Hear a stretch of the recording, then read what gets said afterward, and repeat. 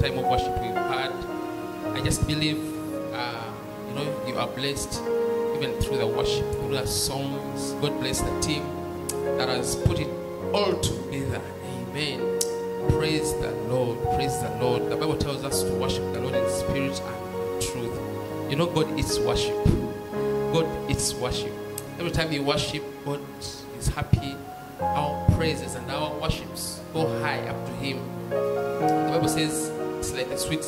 Smelling aroma to Him. So every time you you thank God, you worship, you praise Him, He receives it with you know with that kind of happiness and His glory comes down in your situation in Jesus' name. Hallelujah. Uh, my name's uh, David Wasswa, uh, proudly the pastor of Christ Life. And I want to take this opportunity to welcome you to our page uh, YouTube, uh, at the, the Christ Life Church, and Facebook, the Christ Life. Visit us, send a comment, send, uh, send uh, you know, a post, a message, and we shall together be blessed. I want to tell you that we are praying with you guys.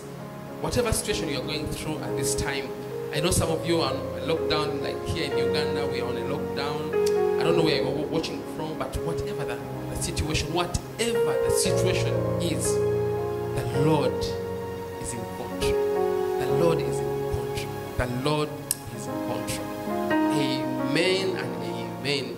Uh, today, I want us to, to share through the word. I just want to encourage someone today uh, through the word of God. You know, when uh, a country is locked down and uh, you're about to preach, somehow, like you, you know, as you pray and you believe God to give you that, that someone, you know, the people that are hurting, the, uh, the people that are burying, the, the, the people that are sick in hospitals, you know, that thing fills your heart and you're like, God, you need to come out and save our country and save our nation and save your people and save and hear your people crying.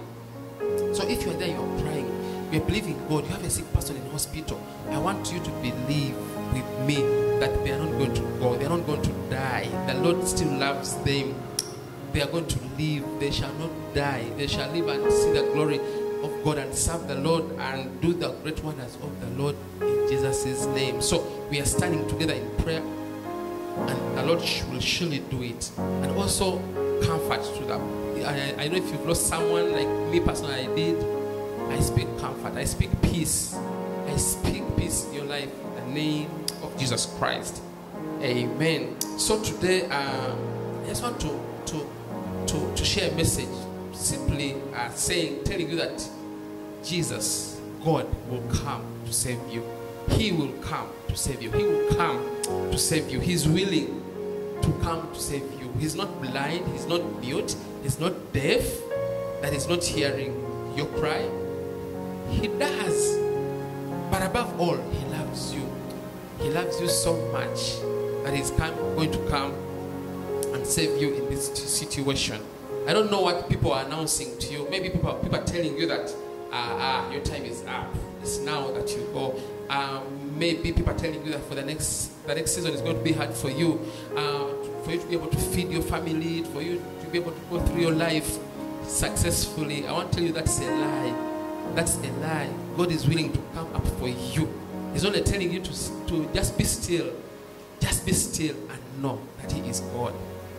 He will come and save you. I want to read the script, uh, scriptures, a story uh, in a paraphrased manner. Uh, Judges chapter 6. You all know the, uh, the story of Gideon and, and, and the time when the Midianites came and oppressed Israel. You know, uh, the Bible says uh, that is uh, Judges chapter 6 from verse 1. Then the children of Israel did evil in the sight of the Lord, and the Lord delivered them into the hand of the Midian, Midianite for seven years. Verse, verse 2 And the hand of the Midian prevailed against Israel. Midian is the enemy that comes to beat us down, to oppress us. It is the sickness, it is the disease, it is the, it is the lack. You know, it is it, it's the enemy, it's the devil. Because the Midianites and the, uh, because of the Midianites, the children of Israel made themselves dens and caves and strongholds which are in the mountains. So, because this enemy came against Israel, the children of Israel made for themselves caves and dens. For what purpose? To hide. So, that is, the children of Israel hid from this enemy that had come to them to torment them. I want to tell you that hiding is not a solution to anything. If the devil wants to hit you, if you don't have God, he will. You have nowhere to hide. There's that movie called Nowhere to Hide. No place to hide, something like that. So that's what the devil always does. When the devil hits someone hard, instead of seeking the Lord, what they do, they hide. So the children of Israel hid. Verse 3, this is what verse 3 says. So it was, whenever Israel had sown, the Midianites would come up, also the Amalekites and the people of the east would come up against them. So every time the Israelites uh, uh, planted their seeds, the enemies came and plucked their food and they ate and they destroyed. Then they would encamp against them and destroy the produce of the earth as far as Gaza. And they left no substance for Israel, neither sheep, no ox, no donkey. So every season, the enemy would come and bring distress to the children of Israel, who take all their meals, all their plants, their animals, their donkeys. Amen. Ah, verse 4. That's verse 5. For they would come up with their livestock and their tents coming, coming in as numerous as locusts because they had their camels, uh, sorry, coming in, in, coming in as numerous as locusts. But they and their camels were without number, and they would enter the land and destroy it. So the enemy would come in big numbers. Sometimes when the enemy comes to us, he does not come in small numbers. He comes in big numbers, like big, big impact. Big, like you really feel it.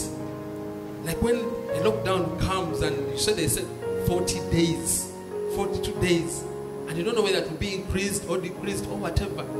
That's a big thing. It's not a small thing. I want to tell you, when the enemy hits, that sometimes the enemy hits bad, hits hard. You know, so Israel, verse 6, so Israel was greatly impoverished because of the Midianites, and the children of Israel cried out to the Lord. So, because of the, the constant torment, Israel became so poor, so impoverished, so down. You know, there's that moment when the enemy hits and you feel it is coming so down. You have no hope. You have you even look through your phone for that phone number to call for help. But every time you call someone, they tell you, I'm also in hospital. Uh, I have a sick person. I lost an uncle. You know, that moment, that moment. But you know what the, the children of Israel did? Verse 6. And the children of Israel cried out unto the Lord. So that is what we, we are doing now as a church. That's what I'm encouraging you to do. To simply cry out to the Lord. Because the Lord hears. The Bible says that our God does not sleep, He does not slumber. And His hand is not too short that He cannot come and you know, do for us what He's supposed to do in our lives. But maybe He's waiting for you to call upon Him. Maybe He's waiting for us to pray out to Him and tell Him, God, take the wheel, take the wheel, take the wheel. You know, there are battles that are physical, but there's a battle that beyond the physical battle. It's now a spiritual battle. But we are encouraged by the hope that Christ won it all for us. He won it all for us. The only thing you do when you cry to Him, you simply believe on Him, and He will do it for you in Jesus' name. Amen. So, what happens when the children of Israel cry out to the Lord? Verse 7. And it came to pass when the children of Israel cried out to the Lord because of the Midianites, and the Lord sent a prophet prophet. You know, the Lord responded. The Lord responds to your cry. The Lord responds to our cries. The Lord responds. He's only waiting for you to call on Him. Simply, I know you have tried all avenues and you are failing. But the good thing, when you call on God, God comes and is willing to come for you. I'm so happy and so persuaded that God is willing to come up for you. Amen. I know if something can come and hit you so hard. It can come and hit your family, your relatives, your surroundings, your family, and like you feel like every hope is gone, and you try it now to begin to get other other other avenues. You know, maybe I try this, I try witch doctor, maybe I try this, uh, you know, maybe I try this, maybe I try this, but no, God is willing to come up for you. Just cry to Him. The Bible said when the, the children of Israel prayed to God, He sent them a prophet. He sent a prophet to the children of Israel who said to them, Thus says the Lord of Israel, I brought you out of Egypt and brought you out of the house of bondage. You know, when the situation you are in, God sends a man Every situation you go in, the answer, God's answer always will be a man with the word. Maybe have been the man with the word to tell you that don't give up. Yeah. Maybe through the singing, God spoke to you. Maybe through the worship, God spoke to you. So when you cry to God, God will always answer. But many times He's going to answer you through His word. Through His word. So God sent a prophet to them. And the prophet, the prophet said, I brought you out, I brought you up from Egypt and brought you out of the house of bondage. And I delivered you out of the hand of the Egyptians, out of the hand of the all those who oppressed you, and drove them out before you, and gave you their land. This is what the man of God said. Verse 10. Also I say to you, I am the Lord your God. Do not fear the gods of the Amorites, in whose land you dwell. But you have not obeyed my voice. So the answer to the cries of the Israelites was the word of God. And God told them, Don't be afraid of your enemies. Don't be afraid of that enemy. Do not be afraid. But again, God added, But you have not obeyed my voice. Praise the Lord. So, do you obey the voice of the Lord in this time? So, by the way, how are you going to know the voice of the Lord when you don't read the Word of God? So, the Word of God is what we need this season. The healings are in the Word of God. The healings we need, the multitude of healings are in the Word of God. The Bible says in Psalms that He sends His Word. He sent His Word and healed all their diseases. His Word. Again, the Bible says in Psalms that the, uh, the entrance of the entrance of His words bring light, bring light. So every time the word of God comes in our hearts, in our lives, enlightenment comes, answers come, healing come in the name of Jesus. What you need is the word. What you need in this season is the word of God. Why don't you get that one and you you you tie it on yourself? You tie it on your heart. You meditate it. You meditate upon it day and night. Here as a church, this season we are reading the book of Proverbs. And the Lord is showing us the wisdom. He is the wisdom. He is the wisdom. Christ is our wisdom. So every verse in the book of Proverbs is, is a healing. Praise the Lord. So we are in a much better place. We are wiser in Jesus' name. Praise the Lord. So, verse 11. Now the angel of the Lord came and sat under the terebinth, terebinth tree, which was in, in Ophrah, which belonged to Joash, the, Ab- the Abiez, Abiezrite, while his son Gideon uh, threshed wheat, the winepress, in order to hide it from the Midianites. So it happens that as Israel is hiding and they're quaking, they're all like crying, the enemy is beating us, the enemy is beating us. some young man called Gideon is somewhere trying to make food, trying to make wheat for the children of Israel who were in hiding. Do you realize that when a situation hits you, not everyone will hide? There are people who are not going to hide. People who say, No, for us, we believe our God, He will take us through. I want you to be one of the people that are going to say, We are not hiding. We are not being fearful. When everyone is, else is negative, making the negative statements, some Gideon out there, some David out there, out, there, some Sarah watching me out there will say, No, me, I'm not hiding. I'm not fearful. My Redeemer lives, and He take us through this season powerfully in Jesus' name. We need a Gideon of the season. So this this boy, young boy called Gideon, this, he was a son. He was busy making wheat in the, with the wine press in order to hide it from the Midianites. The guy was creative, even amidst the scares and, uh, and the cries. The guy was creative. He never hid. Can you be the, the Gideon? You can.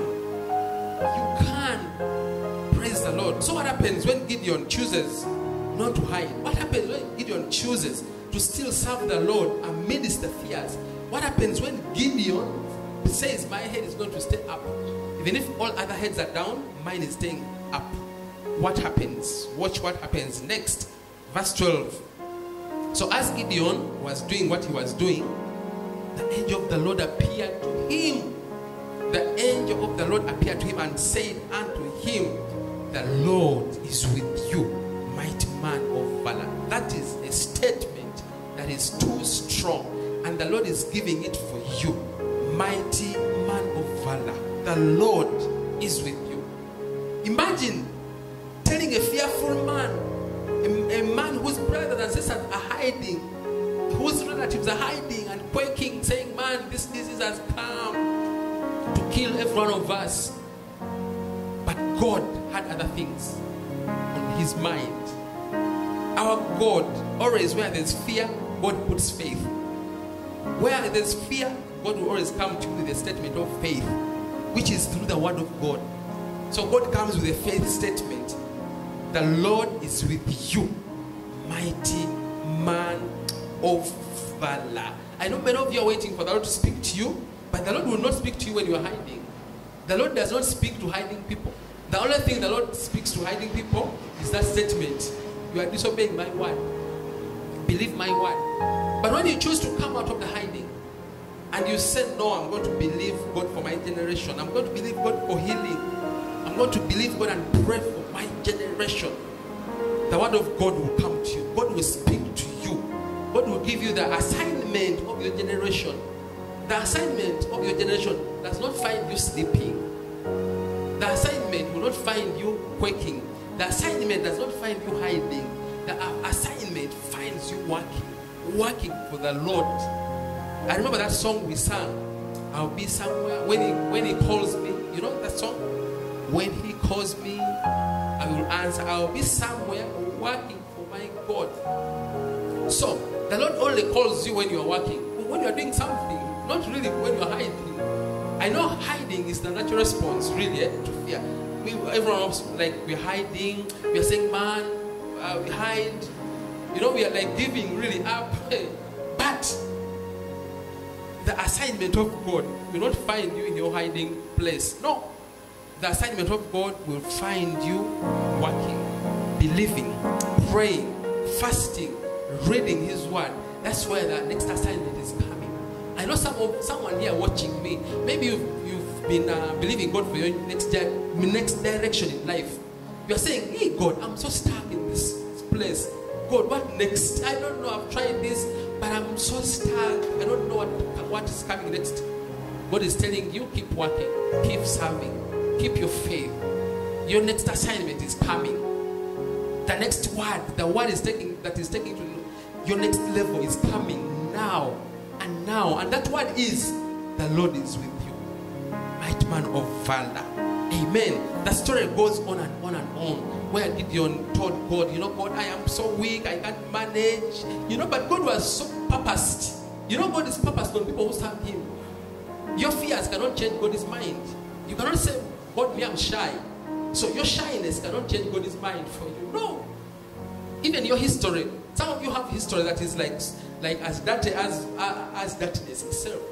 Like you are saying, but God, you can't use me. You know, God, you know me. You know me. Me, I was a bad man. You know, I was bad. But God is saying, you know, it is you. You are the mighty man of valor, mighty woman of valor. I am with you. I'm sending you. You are me. I've picked you. But you say, God, I don't have the qualifications. God is saying, it is you. But God, you see, the people have a bad testimony about me. Eh? You know, when people have a bad testimony about me. God is saying, you know, it's not about people. It's about me. It's about me. Me, I see potential in you. Me, I see a future in you. Me, I see purpose in you. Praise the Lord. So don't hide work. The Lord is with you, mighty man of valor. Praise the Lord. So whatever you are going through, just be still. The Bible says in Psalm uh, 46, verse 10, Be still and know that I am God. I'll be exalted among the nations. I'll be exalted. Be still and know. Be, being still and knowing. Those things go hand in hand. That means you cannot know unless you are still. And still simply means peace. Shalom. Be still. Be at peace. Be at peace. Throw away your anxiety. You know that anxiety we have, the panic. You know that panic that comes every time you listen to the news. That there's a panic that comes. Every time you listen to uh, to, to a, pre, uh, a presidential address, there's there's that panic that comes. Every time you you watch, you know, news, some panic comes. So you cannot be still and panicking at the same time. Being still means rest. Be peaceful. That's what called shalom in the Hebrew. Peace is shalom in the Hebrew, which means happiness, peaceful, prosperous. Those are the words that go with that word. Peace. Peace. So I speak peace in your life in Jesus' name. I know you've been panicking, you've run here and there and there. But God is telling you at this moment, be still and know. So when you are still, it is when you will be able to know that He is God. Knowing, knowing, knowing is God. Amen. It's a deep thing. I don't want to go deeper in that.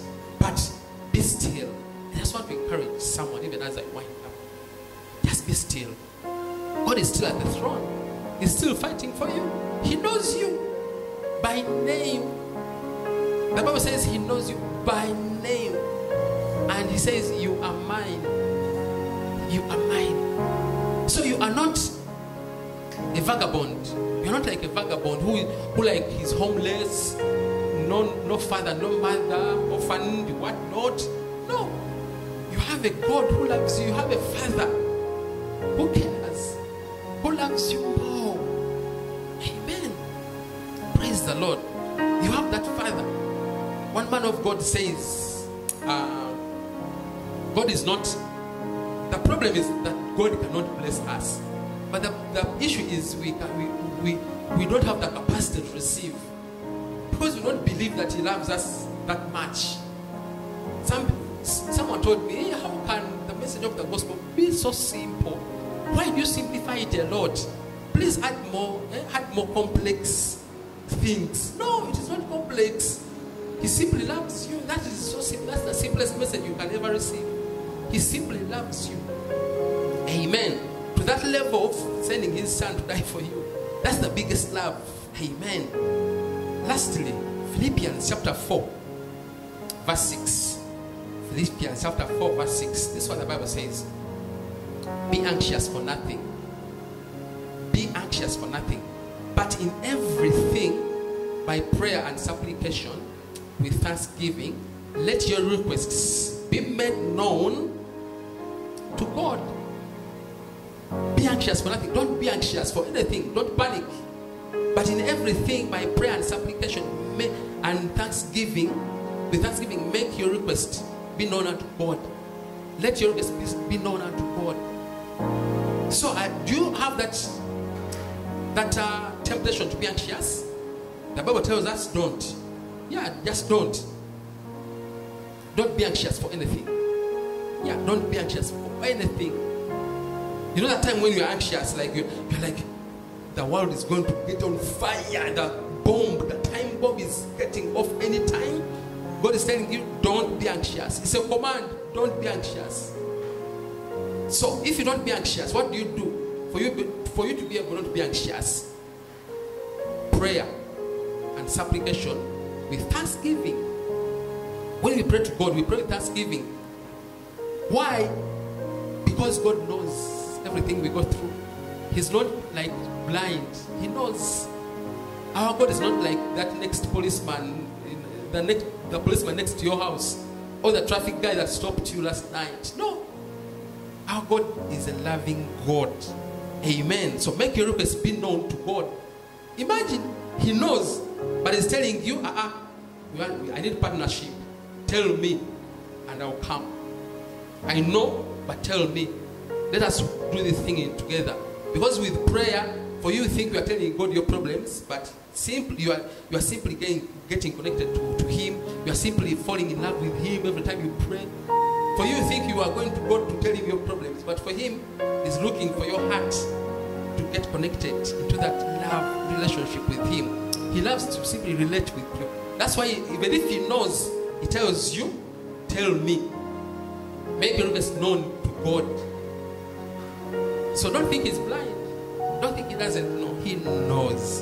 And verse 7 And the peace of God, the peace we talked about, of be still, the peace of God, which surpasses all understanding, will guard your hearts and your minds through Christ Jesus.